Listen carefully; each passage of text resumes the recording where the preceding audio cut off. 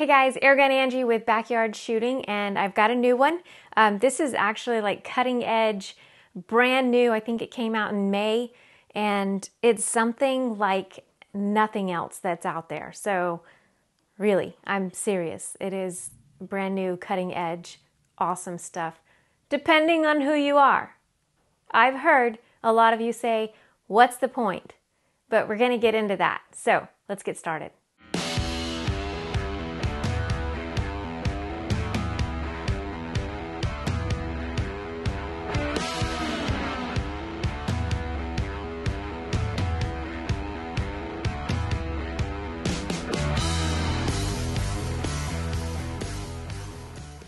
Okay, first up with the Umarex Komplete NCR nitrogen powered air rifle, we're going to go over the aesthetics. From butt to muzzle, total length is 41 and a half inches long, and the total weight is 7 pounds. We have a rubber butt pad uh, connected to the glass filled polymer stock. Moving forward toward the action, you'll find a contoured grip, which leads to the trigger guard and the single stage, yet adjustable for travel trigger and the manual safety that is a push button safety on the trigger. In front of that, on the belly of the gun, you'll see two Allen screws. The first one closest to the trigger guard is the stock screw, and the one further away from the trigger guard is the degassing screw for your nitro air cartridge. In front of that, you'll find the nitro air cartridge cover. Now, above that, you'll find the 21 and a half inch barrel, and it has a SilencAir fixed moderator.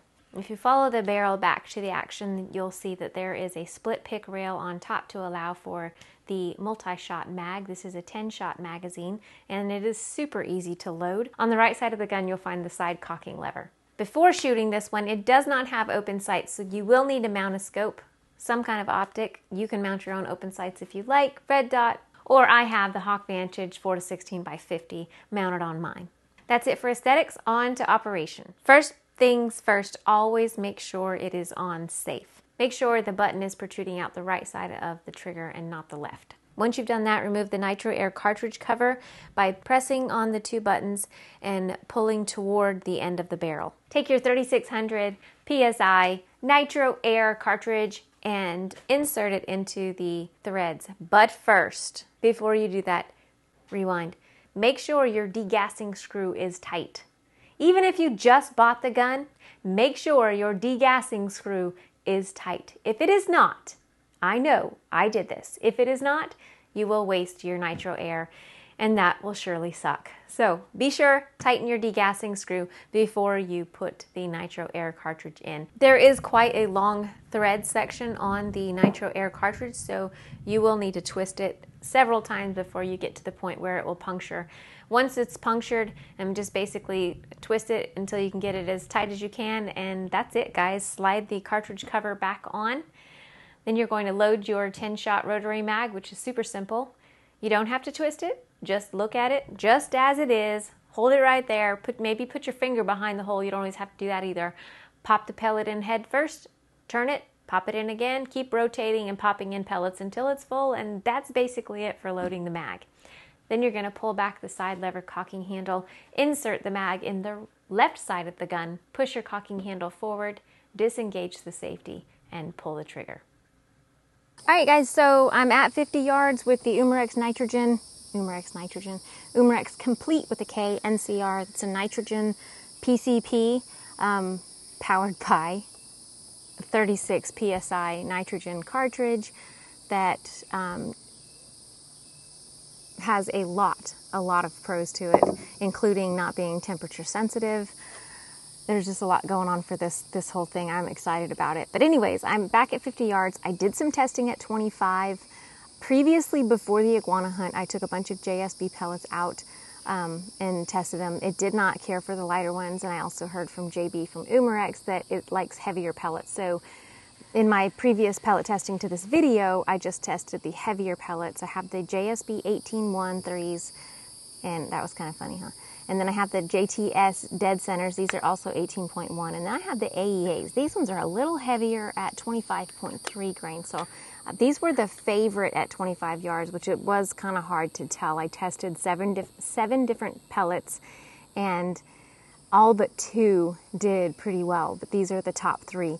So I'm going to test them at 50 yards and see how we do. Okay.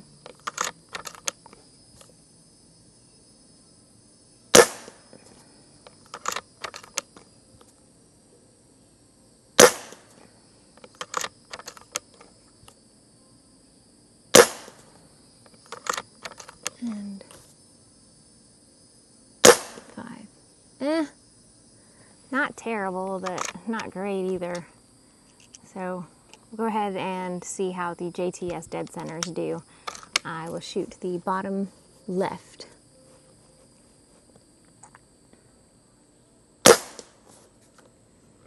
Okay. Oh.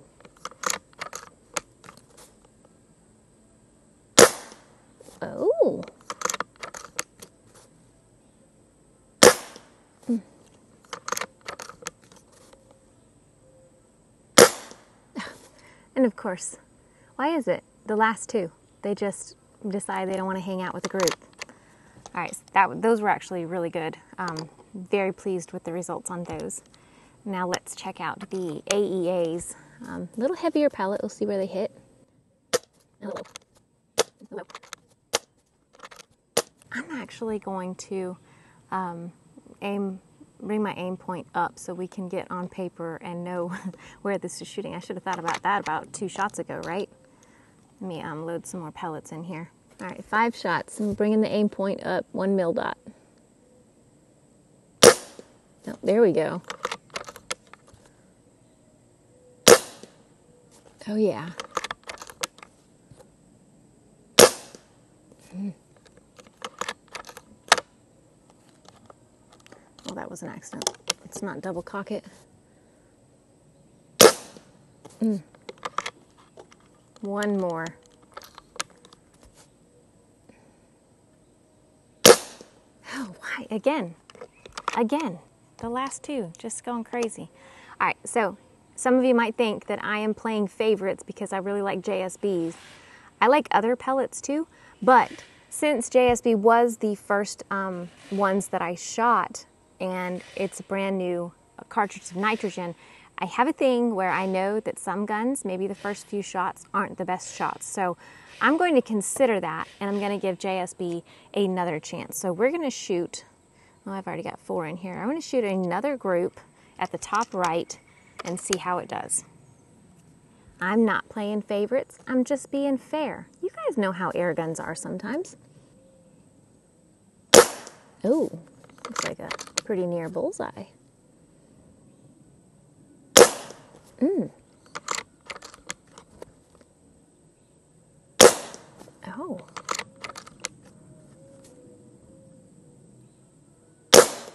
Oh.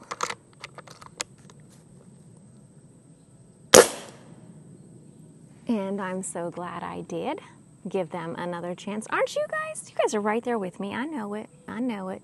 When I shot the first group, that's exactly what you were thinking. Angie, it's not going to be the best because you need to shoot like five or seven shots before you start grouping. And absolutely, there you go. If you guys have to, if you guys are doing pellet testing, maybe your first group doesn't turn out very great, very good, don't blame the pellet. Blame the gun and the shooter. It's my fault too. And give them another chance. All right, so those are the 50 yard results, and they're pretty good. Yeah, this is definitely a 50 yard gun at least. At least. Maybe in the near future I'll get take it back further and we'll test it some more, but at least a 50 yard gun.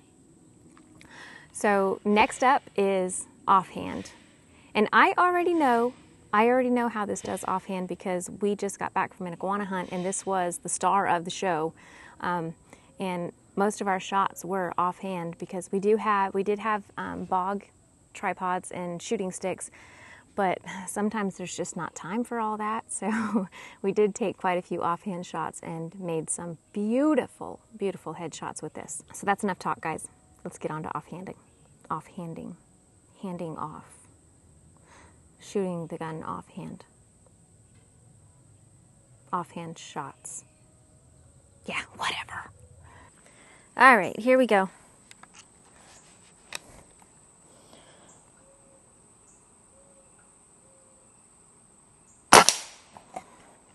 Uh oh.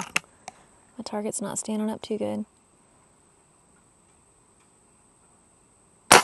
Oh, this was, I forgot that this was not sighted in, so I need to see where I'm shooting at 25. Duh.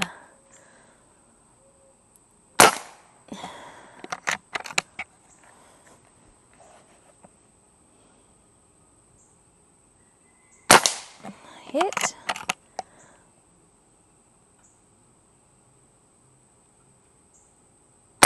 Oh, right above his ear. Got him. Now that one's broken. That's not swinging because I shot, I accidentally shot the top bar with the 50 cal hammer. So I did some damage to it so it doesn't swing like it should, which does not show the power that this is actually putting out. So please forgive me, but we're just going to talk about accuracy right now. All right, see if I can hit that tiny one. Nice.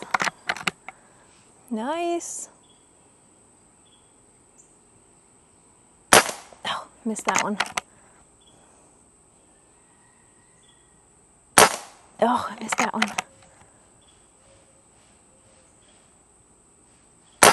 There we go. That's about the size of the target we had on an iguana, the kill shot. So definitely a great offhander, the Umarex Komplete. Now let's get down to business.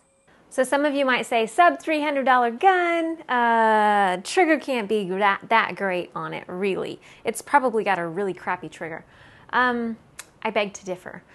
I love the trigger. It's actually less than a pound and single stage, no surprise at all. Nothing that will throw your shot off absolutely assists in making the perfect shot. So the first test I got 12.7 ounces and the second test I got 10.4 ounces, less than a pound trigger. Absolutely lovely. Good job. All right, so is this guy backyard friendly? I think so. Of course, guys, it depends on where your backyard is located and how good your neighbor's hearing is. so, the first dB meter reading I got on this was 96.8. This is at the muzzle, at the muzzle, and 95.4. Now, I brought it back to the back of the table to get a perspective from the shooter. What is the shooter going to hear? Is it going to be quieter, louder?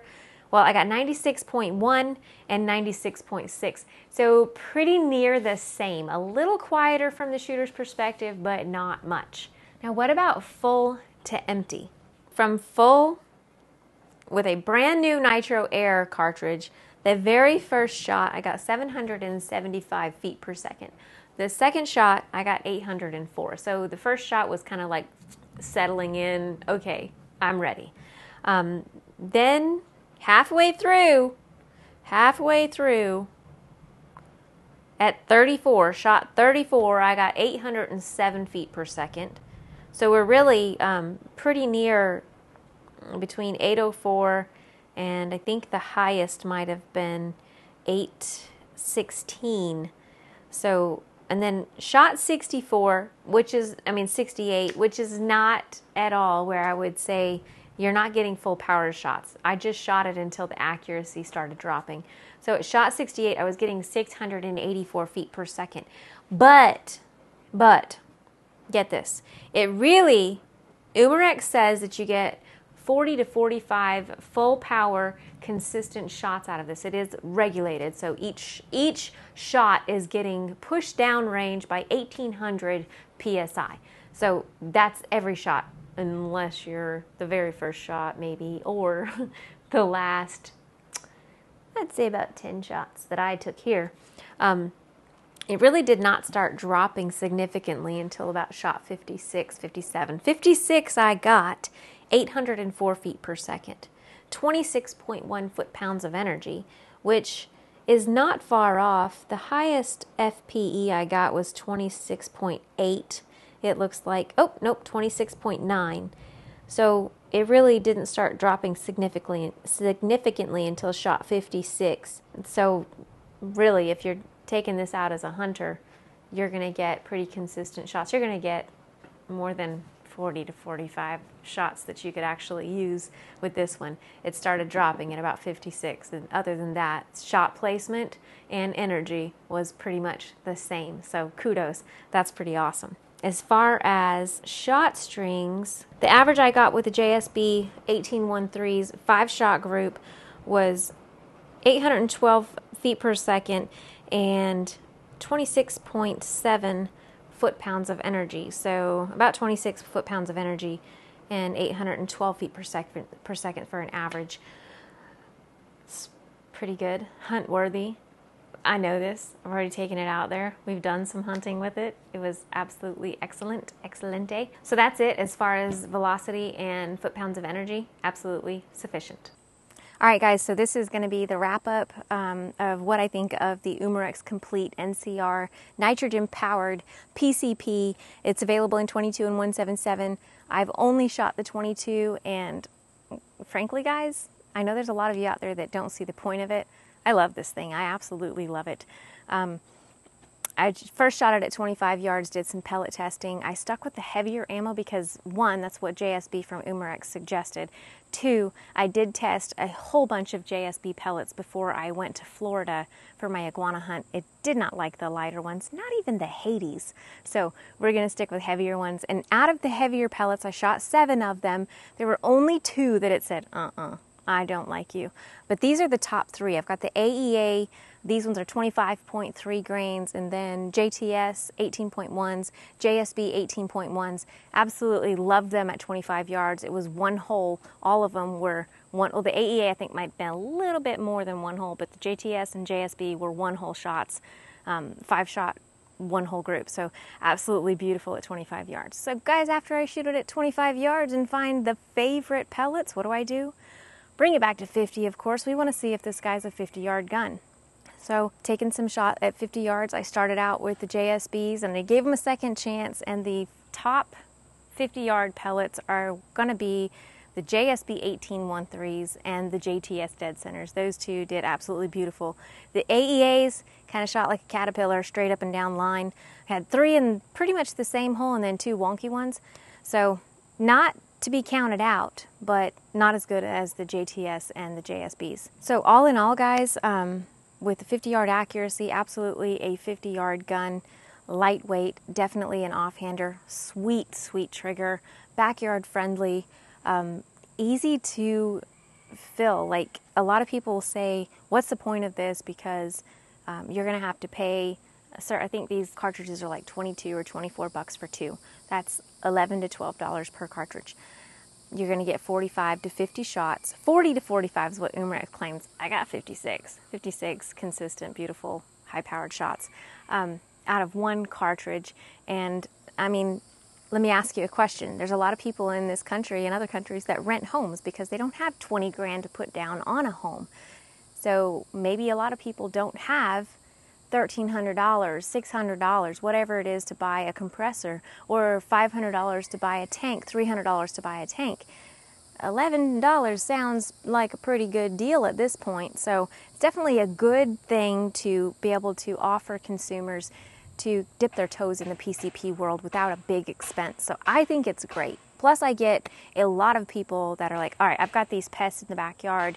I don't shoot very often, so I'm not really willing to go out and spend all this money on an air gun and PC and a compressor and all of that just to take care of a few pests occasionally.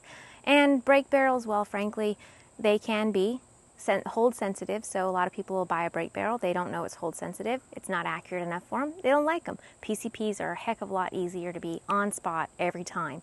So the ability to have something like this sitting by your door not concerned about what temperature it is outside if it's going to operate properly, like CO2, not concerned about, oh, I only shot two squirrels that were going to get in my house and chew the wires up in the walls. I only shot two. Now I need to degas the gun and get it ready for another cartridge next time I shoot. No, you can leave the nitrogen cylinders in there indefinitely. So, I mean, how many good points do I need to bring up about this Umarex Komplete? It's a great idea one thing about Umarex that I will say, I know I'm doing a lot of talking right now, but I've got a lot to say about this guy. So, one thing I will say about Umarex is they pretty much have something for every niche, every air gunner alive. They've got something for them. They've got replicas, they've got BB guns, pellet guns, CO2 pellet, CO2 BB. They've got big bore, small bore, break barrels. They've got pretty much everything. And now, now, they have something. They have a PCP option without the extra expense available for those who it would benefit. No, it's not going to benefit somebody that already has a compressor, already has a tank. It's not going to benefit you. Why would you go buy this when you already have the things that you need to fill up any other PCPs? But another, unless, unless, here's a good point too, unless. So we went through um, Florida with Iguana Lifestyles on an iguana hunt. This was the star of the show. I mean, apps, this and the Origin, Umarex Origin, they were both the star of the show. I mean, we did not have to worry about, as long as I had my handy dandy Allen wrench, because I did leave that the first time, as long as I have my handy dandy Allen wrench, Allen wrench, not ranch, and extra nitrogen tanks, which those fit perfectly in my yoga pant pockets. Um, as long as I have those, I don't have to go back to the truck for air. I don't have to pull a wagon or, or drive a buggy so it can carry my compressor or my tank. All I needed was one of these and an Allen wrench. So uh, if you're doing stuff like that, perfect. This is absolutely perfect. Guys, I don't know what else I can say about this air rifle. I think it's cutting edge. I think it's actually entering into a whole nother level with air guns. I am hoping to see some CO2 replaced with nitrogen. That would be awesome. But that's going to be it for today. This is the Umarex Komplete NCR. Thank you guys so much for watching. Thank you, Umarex. Y'all don't just have a good day. Have an awesome one. See ya. Now take your 3600 psi psi psi psi psi it grabs the tank it,